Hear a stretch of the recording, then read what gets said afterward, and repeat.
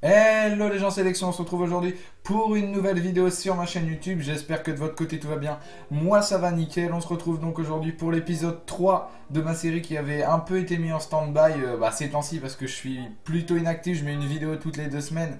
Mais vous inquiétez pas, ça revient dès euh, la semaine prochaine normalement. C'est juste que bah je bossais cet été euh, le mois de juillet donc j'étais pas trop là. Mais vous inquiétez pas que je vais me rattraper pour le mois d'août. On reprendra un rythme normal avec une, voire sûrement deux vidéos normalement par semaine comme d'habitude, comme avant les vacances. Et donc voilà, je tenais juste à, faire ce petit aparté avant de commencer. Donc les gars, comme je l'ai dit, Original Builder numéro 3, on reprend cette série que je vais, que je vais faire en tout cas jusqu'à la fin de FIFA 15. J'espère pouvoir la continuer sur FIFA 16, même si au niveau, au niveau des crédits, ça risque d'être beaucoup moins intéressant. On commence sans plus attendre, donc l'Original Builder avec le gardien, donc le gardien qui est de nationalité brésilienne et qui joue en Russian League. Alors, Russian League. Là, la voilà.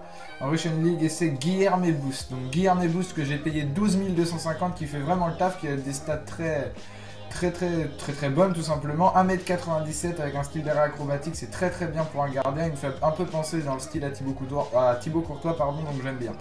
La défense centrale, c'est deux Brésiliens également, qui ne jouent pas dans le même championnat cependant. Le premier, c'est le, le Rock de Ligue 1, Thiago Silva, et le second, et eh bien c'est Naldo, Naldo du Wolfsburg qui est TOTS, vous pouvez le mettre en TOTS, moi je vais pas... J'ai pas voulu mettre, euh, payer le prix là tout simplement pour mettre Naldo Tots parce que le, premier est très bon tout simplement, lui aussi il est très très grand.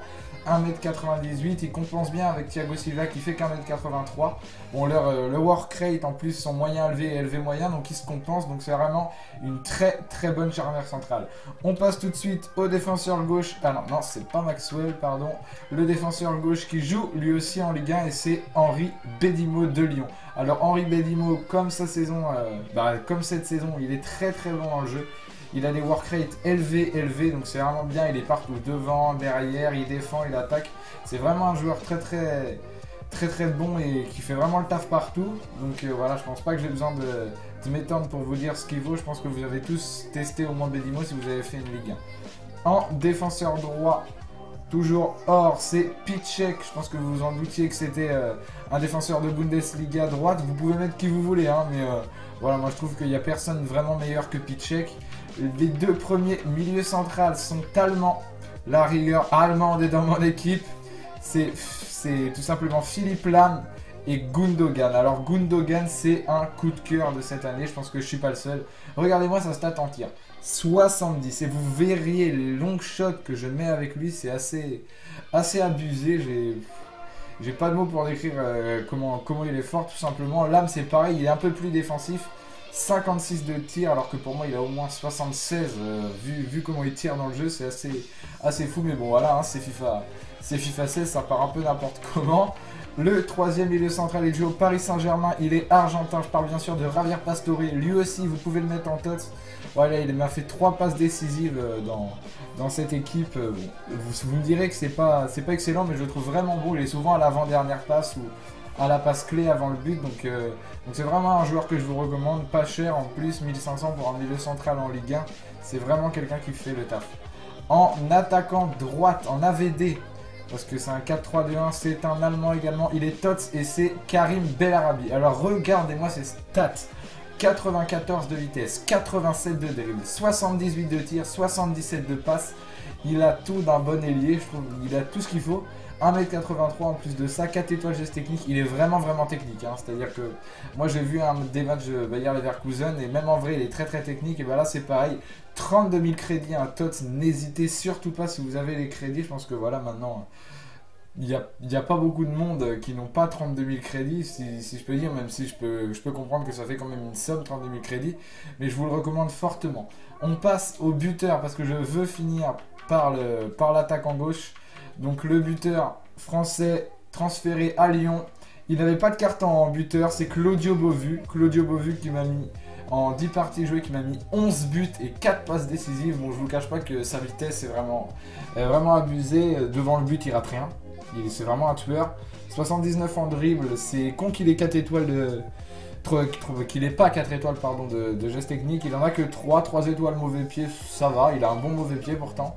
1m74, on pourrait dire que c'est un buteur lambda, je le trouve vraiment, vraiment bon. Je voulais le tester parce qu'il avait sa carte en BU avant à Guingamp, il était milieu droite et, et je suis pas déçu. Au passage, les petites stats de Karim Bellarabi, vous les avez vues tout de suite. 9 parties jouées, 4 buts et 2 passes décisives, donc un très bon, euh, AVD. Avant j'avais mis Müller, mais pas, pas Thomas Müller, l'autre qui joue en bourg en, violet, il m'avait pas convaincu, donc j'avais mis Bellarabi.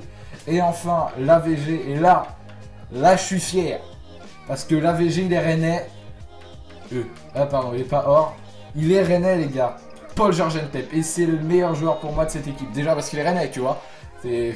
Voilà, ça c'est bien connu que les Rennais sont les meilleurs. Hein. bien sûr, bien sûr. 42 ans qu'on n'a rien gagné. Mais bon, ça on le dira pas. Bref, Paul Georgentep, 94 de vitesse, 85 de dribble, 72 de tir, 71 de physique, 1m80. Pareil, c'est con qu'il n'ait pas, qu'il pas 4 étoiles de geste technique, surtout que c'est vraiment un bon percuteur dans la vraie vie. Et donc voilà, 10 parties jouées, 11 buts, 5 passes décisives. Je crois que c'est lui qui a le meilleur euh, ratio de buts, euh, buts grâce à lui. Donc voilà, c'est vraiment un joueur, euh, un joueur très très bon. J'avais pas aimé pourtant la première fois que j'avais testé. Hein. Mais là, je me suis dit, un René c'est pas tous les ans. Là, va falloir attendre 5 ans avant qu'il y en ait un autre. Donc je vais, le tester et ouais, je suis vraiment pas déçu. Il est très très bon. Donc voilà l'équipe au grand complet. Donc je vous ai pas mis le banc, hein, bien sûr. Vous voyez 60 000 de notes, il n'y a pas le banc. Et donc voilà, c'est une équipe très compétitive qui peut jouer dans toutes les divisions. Là, je suis en D2, je joue encore avec et elle fait le taf. Elle fait vraiment le taf, je gagne en D2 avec. Et donc voilà. Si t'as aimé l'original builder et la vidéo, lâche un like, commente dans les commentaires pour, me dire tout simplement ce que t'en as pensé. Et surtout, abonne-toi à la chaîne YouTube pour, euh, pour qu'on soit de plus en plus dans l'aventure, euh, dans mon aventure YouTube, tout simplement, que vous soyez de plus en plus à me suivre. Ça me ferait extrêmement plaisir. Allez les gars, c'était Lexo. Ciao, bye bye